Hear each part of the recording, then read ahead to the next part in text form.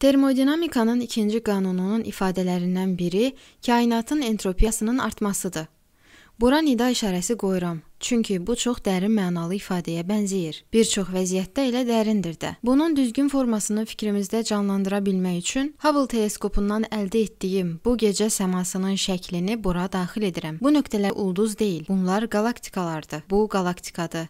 Buradakı da qalaktikadır. Ümidvaram bu sizi bir qədər kosmik şkalaya daxil edər. Bunun əslində bizə nə göstərdiyi haqqında düşünək. Kainatın entropiyası ancaq artır. Yəni biz entropiyanı sistemdəki qarışıqlıq kimi təyin edə bilərik. Əslində sistemə tabe olan vəziyyətlərin sayından danışırıq. Sonra biz kainat haqqında danışırıq. Lakin biz həm də qapalı sistemlərin entropiyasının ancaq artdığını deyə bilərik. Bu sistem ətraf mühitlə heç bir təsirdə olmur, çünki kainat tamamilə qapalı sistemdir. Ətrafda onun qarşılıqlı termodinamiki təsirdə ola biləcəyi heç nə yoxdur. Mən açıq və qapalı sistemlər haqqında ümumi danışacağam. Biz bunların mənasını başa düşəcəyik. Əgər burada tonqal olarsa, deməli mənim odunum və alovlanan atəşim sistem var. Bu tonqaldır. Əgər mən ancaq odun və alova baxsaydım, bu açıq sistem olacaqdı. Çünki bu açıq-aydın termodinamiki cəhətdən ətraf mühitlə qarşılıqlı təsirdə olur. İstiliyi yayır, ətrafındakı hava molekullarını isidir, kainatı işıqlandırır. Kainatın digər hissələrindəki sistemlərlə qarşılıqlı təsirdə olur. Yəni bu ətraf mühitdən təcrid olunmayıb. Qapalı sistemlər isə təcrid olunub. Gündəlik həyatda həqiqi qapalı sistem yarada bilmək çox çətindir. Biz bunu güman edə bilərik. Çox güman ki, sizin gördüyünüz qapalı sistem soyuducunuzun buzxanasıdır. Ən azından biz buzxananın daxilini ətraf mühitdən termodinamiki olaraq təcrid etməyə çalışırıq. Bu bizim üçün bir növ təcrid edici materialdır. Ola bilsin ki, bu strafordur. Biz onu buzu saxlamaq üçün istifadə edə bilərik. Amma bu mükəmməl qapalı sistem deyil. Çünki əvvəl-axır ətraf mühitdən gələn istilik soyuducunun divarını isidəcək. Əvvəl-axır istilik buza keçəcək və onu isidəcək. Nəticədə buz əriyəcək. Yəni bu mükəmməl qapalı sistem deyil, amma bu çox yaxşı fərziyyə idi. Çünki ən azından biz onu termodinamiki olaraq ətraf mühitdən təcrid etməyə çalışdıq. Mən bunu həqiqətən təcrid etmək istədiyimi göstərmək üçün bir qədər də ətraflı izah edəcəm. Siz tədqiqat laboratoriyalarında qapalı sistemlərə aid daha yaxşı təxminlər görəcəksiniz. Hətta o sistemlər belə ətraf mühitlə qarşılıqlı təsirdə olacaq. Əsas qapalı sistem bu qapalı sistemdir, kainatdır. Ətraf ilə termodinamiki cəhətdən qarşılıqlı təsirdə ola biləcəyi heç nə yoxdur. Bu ifadəni daha dərindən düşünək. Kainatın entropiyası sadəcə artır. Niyə bu intuitiv dəstlər məna kəsb edir? Düşünürəm ki, bunu yaxşı izah edə biləcək olan məhz asanlaşdırılmış diffuziyadır. Fərz edək ki, mənim bir qabım var. Mənim qabım var və mən bunu qapalı qab edəcəm. Biz bunu nəzəri cəhətdən ideal qapalı sistem hesab edəcəyik. Deyək ki, mənim ideal qazım var. Mənim burada bir qədər ideal qazım var. Onların orta temperaturu var. Bu o deməkdir ki, hər birinin öz fərdi kinetik enerjisi var. Onlar müxtəlif istiqamətlərdə ətrafa zərbələr endirirlər.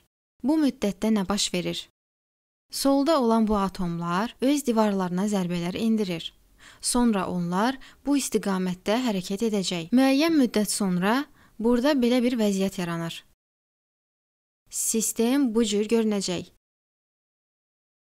Bu halda gördüyümüz kimi 6 hissəcik var. Bu 6 hissəcik qab boyunca diffuziya etməyə hazırlaşır. Onlar qab boyunca diffuziya etməyə hazırlaşır. Onlar qabın daha çox hissəsini zəbt edəcəklər. Bəs bu proses vaxtı nə baş verdi? Siz bu hissəciklərin balaca qabda məhdudlaşdığını bildiyiniz vaxt, burada daha az mümkün hal olacaq. Burdakı entropiya burdakına nəzərən daha azdır. Burada daha çox mümkün yer və istiqamət var. İndi daha da çox hal müşahidə edəcəksiniz. Burada entropiya daha yüksəkdir. Bu proseslərdə entropiya artır. Biz bunları dönməyən proseslər adlandırırıq. Dönməyən proseslər. Bəs bu niyə dönməyən prosesdir? Burada bu molekulların birləşib geriyə bunun küncünə toplanması ilə əlaqədar ehtimal var. Amma bu çox az ehtimaldır. Burada bizim 6 molekulumuz varsa, o zaman bu mümkündür. Amma həqiqi sistemlərdə bizim 6 molekuldan daha çox molekulumuz olacaq. Biz milyonlarla molekullara malik sistemlərə nəzər salacağıq. Təqribi 20 və 30 sıfırla bitən miqdarda olan molekullar. Burada onların qabı doldura bilmək üçün kiçik həcmini götürüb, birlikdə zərbələr endirdikləri çox da güman olunmur. Buna görə də siz tüstünün kiçik formalı hissəciklərə çevrildiyini və ya öz qabınızı doldurma əvəzinə kiçik yeri tutduğunu görmürsüz. Yəni bu dönməyən prosesdir. Çünki burada potensial vəziyyət kiçik rəqəmlərindən başlayaraq daha kiçik həcmdən çoxsaylı rəqəmli potensial hala çatır. Kainat davamlı olaraq bunu edir. Buna görə də entropiya sadəcə artır. Burada bəzi hadisələr var ki, sanki entropiyası bu qədər artmır. Belə ki, əgər siz burdakı bilyard toplarından birini götürüb digər bilyard topuna tərəf diyirləndirsəz, impulsu buna ötürsəz, onun digərinin ətrafına gedəcəyini görəcəksiniz. Bu bilyard topu digərini vurub geriyə gedə bilər. Makro səviyyədə bu dönməyən proses kimi görünə bilər. İnsanlar bunu dönməyən proses hesab edir. Amma əslində buna mikroskopla baxsaz, entropiyanın çox artmadığını görəcəksiniz. Ona mikroskopla baxsanız görəcəksiniz ki, entropiya bildiyiniz kimi top hərəkət etdikdə bu stasionar haldır. Sonra o hərəkət halına keçir və bu stasionar hal adlanır. Entropiyanın çox artmadığı görünür. Buna görə də dönməyən proses adlanır. Çünki ola bilsin ki, siz bunu geriyə gedərkən görə bilərsiniz bilməlisiniz. Bu digərinə zərbə endirir və sanki filmdəki kimi geriyə gedir. Hətta orada siz buna mikroskopla baxsaydınız, istilik əmələ gəldiyini görəcəydiniz. Kürədəki bəzi molekullar toqquşduqda həyəcanlanır. Onlar hava molekulları ilə sürtünür. Onlar burada diyirlənir. Bu molekullar əvvəl olduğu vəziyyətə heç vaxt geri qayıtmır. Əslində sistemdəki entropiya artmış olur. Hətta bizim gündəlik həyatımızda, termodinamikada insanlar dönən proseslər haqqında danışır. Onlar sadəcə dönən olduğunu təxmin edir. Entropiya sadəcə bir qədər artır. Bu o demək deyil ki, entropiya heç dəyişməyib. Bu dönməyən proseslərdən biridir. Diffuziya buna ən bariz nümunələrdən biridir. Çünki burada açıq-aşkar entropiyada artım müşahidə olunur. Sanki çox az ehtimal var. Bəlkə də heç ehtimal yoxdur ki, bu əvvəlki vəziyyətinə qayıdacaq. Siz bunu müşahidə edə bilməyəcəksiniz, çünki biz çoxlu molekullar haqqında danışırıq. 20 və ya 30 sıfırla bitən miqdarda olan molekullar. Onlardan sadəcə bəziləri düzgün olanı edə bilər. Əslində siz bunun üçün çox gözləməlisiniz. Bəlkə də heç vaxt bunun baş verdiyini müşahidə edə bilməyəcəksiniz. Burdan belə bir nəticəyə çıxır ki, qarşılıqlı təsir artdıqca sistemdəki nasazlıq hallarının sayı da artır. Bunlardan çoxu istilikdən gəlir. İndi etdiyiniz hər hər şey. Hətta mən bu videonu hazırladığımda belə mənim orqanizmim istilik əmələ gətirir.